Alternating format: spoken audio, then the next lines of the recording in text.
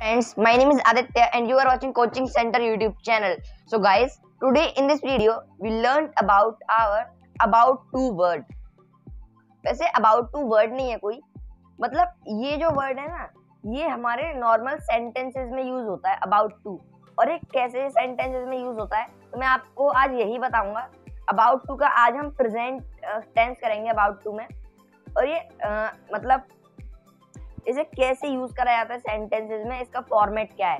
तो आज ये पूरी वीडियो में हम यही सीखेंगे। तो पहले तो अबाउट टू का मतलब क्या होता है? अबाउट टू का मतलब होता है कोई संभावना। अबाउट टू मतलब करने वाला है।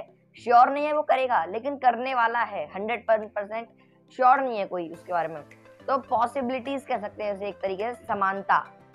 मतलब संभावना। तो पहले तो मैं आपको इसका फॉर्मेट बताता हूँ।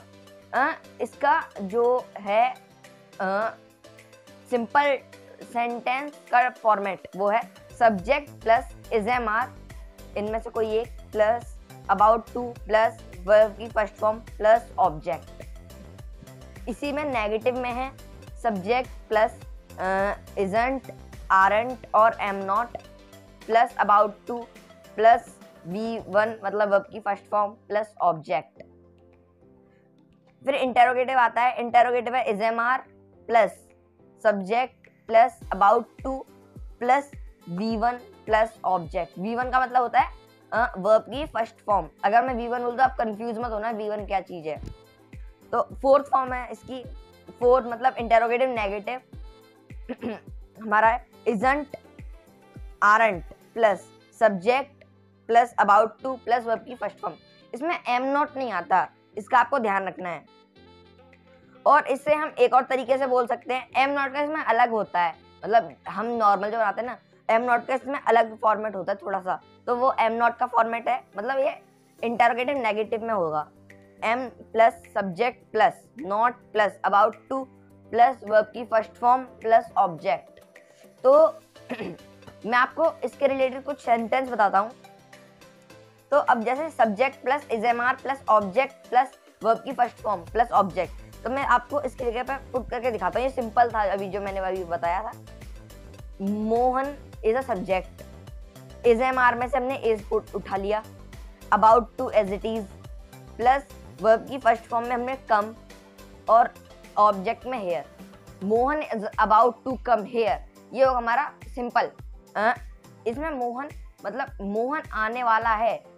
मोहन आ, आने वाला है श्योर नहीं है लेकिन